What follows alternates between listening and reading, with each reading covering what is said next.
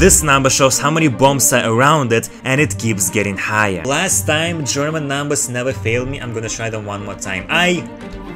Zwei.